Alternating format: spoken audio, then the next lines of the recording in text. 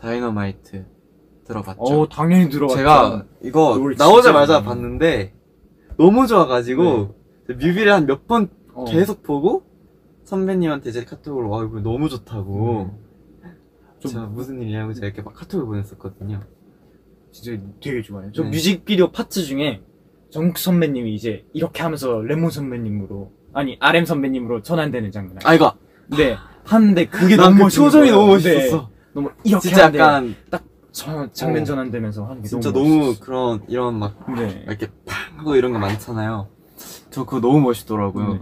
약간 그 정국 선배님 그 처음 파트 때 약간 네. 어 아주 내가 절대 표현할 수 없는 진- 그런 느낌이 나와서 너무 너무 멋있었어. 너무 멋있었어. 그래서 제가 막 선배님한테 카톡 보냈었어요. 멋있다고 너무 너무 멋있다고. 선배님들 고맙다고 해서 예. 방탄소년단 선배님들 신곡 들어봤냐고요? 다이너마이트 들어봤어요. 저 딱 그때가 저 뮤직뱅크에 있을 때였거든요.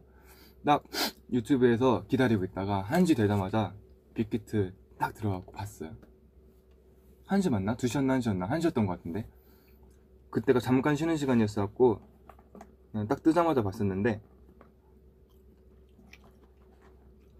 그건 노래 너무 좋던데요? 음, 되게 이번에 뮤직비디오가 되게 뭐라 해야 되지? free해 보였다고 해야 되나?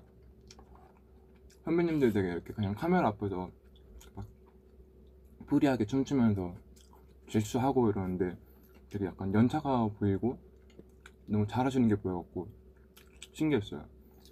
저는 이렇게 카메라 앞에 딱 두고 노래 틀어놓고 너 하고 싶은 거 해봐 이러면 잘 못하거든요.